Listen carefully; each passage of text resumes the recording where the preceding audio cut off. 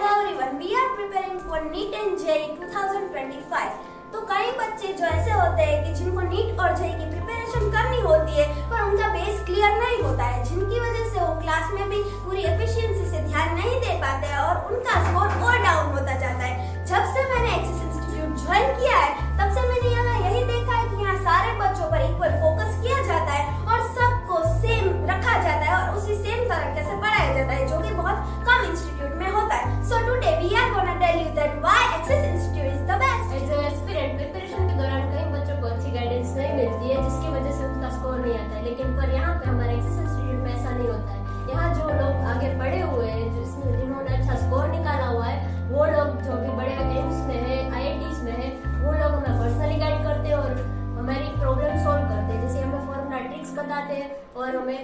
Exam के वक्त time management सिखाते हैं। नीट और जेडब्ल्यू की प्रिपरेशन के लिए क्वेश्चन प्रैक्टिस इज़ नेसेसरी और इसी क्वेश्चन प्रैक्टिस के लिए एक्सेस इंस्टीट्यूट हमें प्रोवाइड करते हैं उनके बेस्ट मॉड्यूल्स अगर कोई एक टॉपिक चल रहा है और उसकी पर्टिकुलर उसी टॉपिक की हमें अगर क्वेश्चन प्रैक्टिस करनी है तो उसके लिए हमें डीपीपीस दी जाती है और वो डीपीपीस हमें गुजराती और इंग्लिश दोनों लैंग्वेज में अवेलेबल होती है।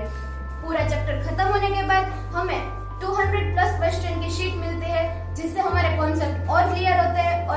अगर उस शीट में कोई डाउट हो तो सर हमें पर्सनली आके गाइड चालू हो रहा है तो कई सारे बच्चे नीट और बोर्ड के लिए प्रिपरेशन करते हैं और उनको टेंशन होता है कि हमें नीट भी देनी है और बोर्ड भी लिखना है। लेकिन यहाँ पर ऐसा नहीं होता है। यहाँ पर बोर्ड के लिए और नीट के लिए दोनों के लिए अलग अलग टीचर्स आते हैं। बोर्ड के लिए जो टीचर्स आते हैं, वो अच्छे से हमें बोर्ड में कैसे लिखना है, हमें बोर्ड में टाइम कैसे मैनेज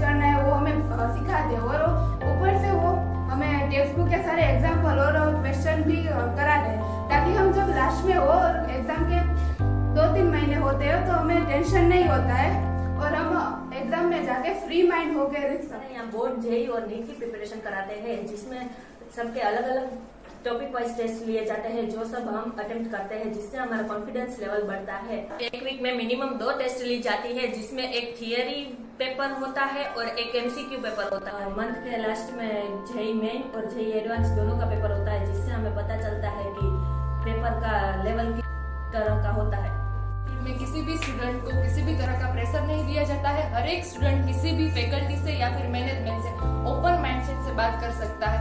एक्सिस इंस्टीट्यूट सुबह से शाम तक पूरा दिन ओपन होता है। इसलिए कोई भी स्टूडेंट सेल्फ स्टडी के लिए भी इंस्टीट्यूट में आके पढ़ाई कर सकता है। अगर स्टडी से रिलेटेड इश्यू हो या फिर पर्सनल इश्यू हो, फिर भी स्टूडेंट फैकल्टी से या फिर मैनेजमेंट से बिना हिचकिचाए बात कर सकते हैं। इलेवेंथ और ट्वेल्थ का मिनिमम टू बार रिवीजन होता है। जो स्टूडेंट्स को कोई टॉपिक वीक हो या उसे समझ में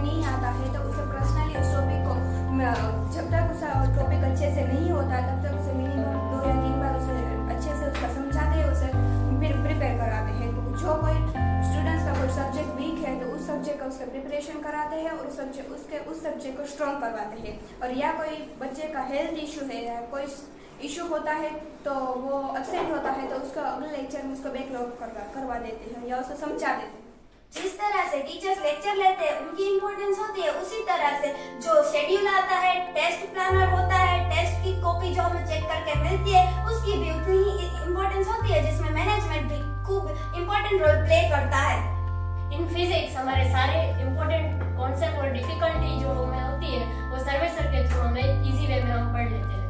इन केमिस्ट्री ऑर्गेनिक फ़िज़िकल और इनऑर्गेनिक जैसे जैसे डिफ़िकल्ट पोर्शन हम सुधांशु सर के थ्रू इजी वे में प्रिपेयर करते हैं। बॉटनी और जूलॉजी जैसे इंटरेस्टिंग और इम्पोर्टेंट टॉपिक को हम राम सर के थ्रू बहुत अच्छी तरह से सीख लेते हैं। इन मैथ्स एल्जेब्रा और कोऑर्डिनेट जियोमेट्री जैसे टफ क्वेश्चन को भी हम सागर सर से जेडब्ल्यू एडवांस के लेवल तक पढ़ते हैं। So education is our passport to make our future bright so if you want to make your future bright join HS institute today we are proud to be an ad